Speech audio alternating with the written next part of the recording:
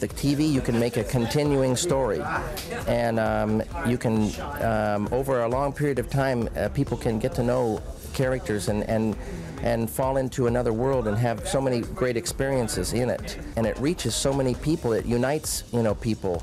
Um, it's a, so beautiful.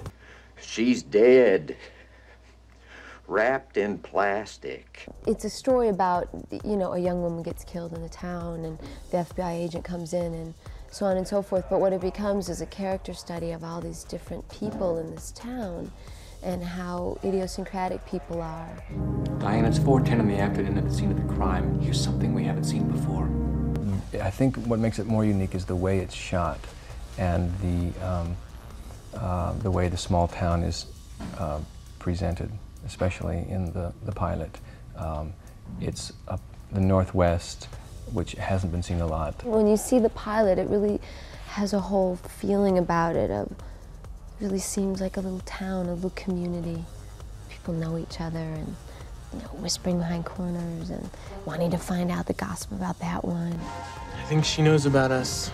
It's a place that you look at and you think you'd love to live in. You know, the people are very charming, um, a little quirky.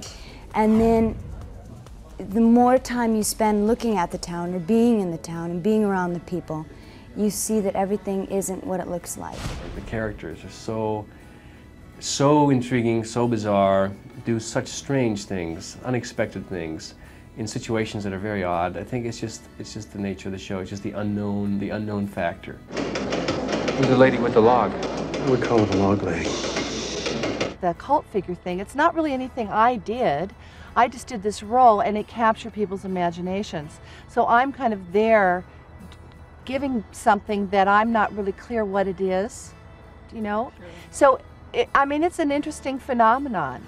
It kind of cracks me up how much people want an answer to the who killed Laura Palmer thing because that murder was just kind of the ball that got everything rolling, you know. And it was what helped uncover all of these other wonderful relationships and secrets and all of these other characters, you know, how, how they all relate and what's going on with them. Keep hearing that question over and over, who killed you? And it's like, you know, there's so much other stuff going on. Who could uh, figure that in Spain uh, and Italy and, and in England and, and Japan and many, many other countries that uh, something uh, like this that seems so sort of homespun uh, could uh, be understood and appreciated so, so much and intensely it's there's no figuring it. All I keep saying is it's the mystery of the woods, and it's it's the same kind of thing that a fairy tale you know gets going on. It's uh, once you start walking in the woods, um, your imagination starts going, and um,